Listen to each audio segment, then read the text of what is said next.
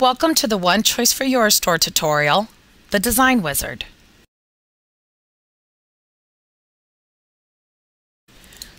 From the links on the left under Edit, we will now be clicking on Design Wizard. However, I'm going to give you a word of caution. Do not go any further if you're working with a design company such as One Choice for your store. This will remove all programming from your store.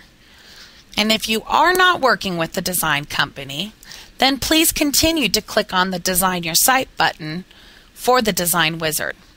Now here we have two choices, and we're going to go ahead and choose the generic templates. We'll take a look at the pre-designed templates well, but for now, let's just go ahead and look at the generic templates you will notice that we have two choices, left navigation or top navigation.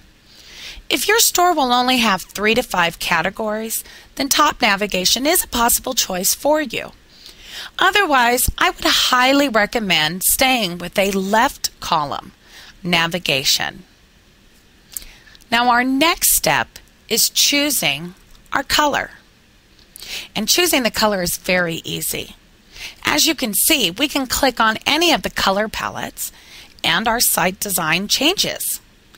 And we can continue to click on different colors and get different examples of how our website there's actually 28 different color palettes to choose from. So go ahead and look through the different ones and choose the right one for you. Now let's go ahead and click on the drop down and choose pre-designed templates. A word of warning here. We suggest that you kind of stay away from these pre-designed templates. Reason being is that we have found it's much harder down the road to make changes or to add different elements to your website when you're using these pre-designed templates. However, if you still want to use them, it works pretty much the same as the color palettes. You go through the different options and click on them and you can view how they will look on your website. Now, let's say you do decide that the pre-design's not right for you and you want to go back over to the generic templates. There's actually two different ways that you can accomplish this. You can use the drop down to go back to generic or you can click on the back button as well. Either one will get you right back to color choices that we were at before. So we're going to go ahead and choose a color palette that we believe is going to work for our website. And once we have done that, we're going to click the next step. Now here, as you can see, we're given three choices. We can use plain text, upload our own logo, or upload an entire header as a graphic advanced. Now, what exactly is this? Well, this is putting our name into the header of our website. Now, if you're going to be uploading a logo, you want to upload a transparent background in your logo. What that means is that the background is clear. There's no color. And this way, no matter what color you use today or tomorrow, the logo will still fit in with your website. If you don't have a logo right now, that's okay.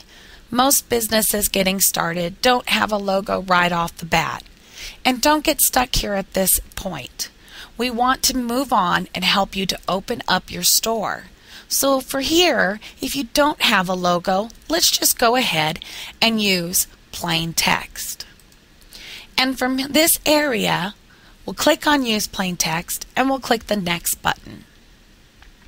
The next screen that we're going to see is going to allow us to actually input the name of our website. And this is what's going to show at the top of the page in our header. Once we're done, we'll click the next button again. From here, we're going to be adding text and information to your website. Now, don't get stuck here because later on in this series, we're going to show you how to go back and make changes to all these different areas. However, as you can see, we can easily go within any one of these text areas and we can add, we can edit, we can remove text, we can do whatever we need to to make it more unique for us. And we can put in the information that we want to put in. But once again, just remember, don't get stuck here. We can easily edit it later. Once you're done with this area, go ahead and click the Finish button.